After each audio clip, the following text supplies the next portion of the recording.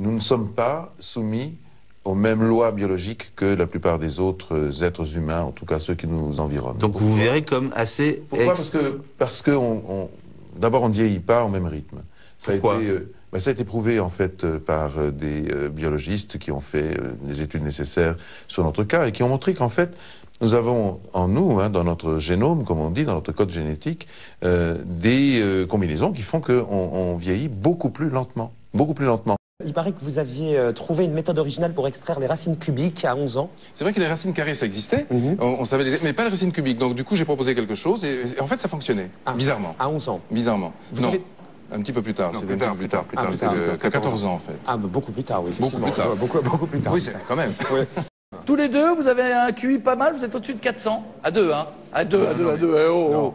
On n'a pas commencé euh, euh, d'emblée à être à 400. En, en réalité, euh, les tests sont exactement comme des exercices physiques, des choses qu'on peut améliorer. Donc, on a commencé normalement. Igor, 202.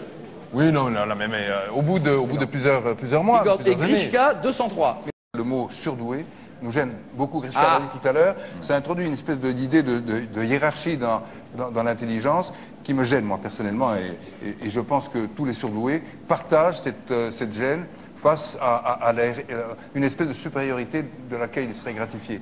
Il y a eu beaucoup de rumeurs à votre sujet, que vous descendiez de Pharaon, que vous étiez des extraterrestres, que vous aviez subi des opérations. Qu'est-ce qui prouve qu'on ne l'est pas? Rumeurs exactement que vous n'avez jamais démenti. Alors, est-ce que quel est votre secret? Est-ce que, vous savez encore aujourd'hui reconnaître le vrai du faux Il y a forcément, d'ailleurs tout le monde nous le dit. D'abord, un, on est les seuls extraterrestres avec un permis de séjour. ça, Et une maison dans le Deuxièmement, déjà. Et puis, deuxièmement, c'est vrai qu'il euh, y a une espèce de, folklore mystérieux qui nous entoure.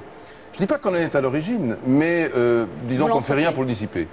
Si je vous dis que vous êtes des vrais extraterrestres, je vous fais un compliment oui, oui, oui. Je moi, pense je, moi, je, pense qu'on s'y reconnaît complètement. Au moment où on se parle, là maintenant, je suis sûr qu'il y a des êtres euh, qui nous ressemblent plus ou moins et, et qui, qui, répondent à peu près aux mêmes questions que celles qu'on se pose là en ce moment. Ah, vous croyez qu'il y a une autre interview ailleurs sur une planète comme ça avec euh, des énergumènes comme vous? Exactement. on, on l'assume.